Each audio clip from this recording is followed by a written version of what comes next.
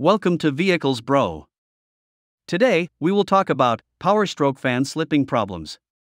Is slipping fan problems serious? Yes, it is. It helps circulate air and prevent the engine from overheating. So, in this video, we have pointed out all those reasons, problems, and how to fix it. Let's begin. Reason number 1 Old or aging fan clutches. In this case, an old fan clutches is mostly responsible for power stroke fan slipping. To fix it, replace aging fan clutches. Reason number 2 Failed fan clutch. If a fan does not rotate as fast as it should, it may cause 6.0 power stroke fan clutch slipping. In that case, you should regularly inspect fan clutches.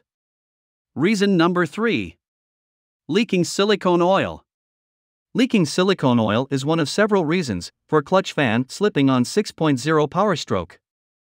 In this case, replace damaged clutches. Reason number 4 Worn out transmission seals. Worn out transmission seals make it difficult to keep the air in the system, affecting the fan, and causes clutch fan slipping. In this case, repair or replace worn out seals. Reason number 5 Failed engine belts. A failed engine belt can also be responsible for a 6.0 power stroke fan clutch slipping. For this reason, replace a worn out engine belt after it has served its course. We hope this video will work for you.